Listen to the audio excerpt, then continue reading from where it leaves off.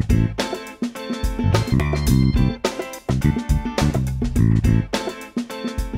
You may not have heard of her, but French model and actress Gaia Weiss certainly stole the spotlight at the Cannes Film Festival premiere of Hands of Stone on Monday. Wearing a see-through lace gown, the 24-year-old sported some serious side boob in the dress which also failed to cover her nipples in the front. A daring braless entry was made by Gaia as she showed off her swelled body in her frock that was totally see-through. Although she expected it blend in and likely chosen for the panties, it was entirely on display along with her butt cheeks. This just might be the most revealing appearance to grace the red carpet while we've seen a slew of hot dresses during the film festival. She followed the likes of Robert De Niro, Usher Raymond and Chanel Iman down the scarlet stretch laid on for the 64th annual film festival. Check this out and tell us what do you think about this and don't forget to subscribe.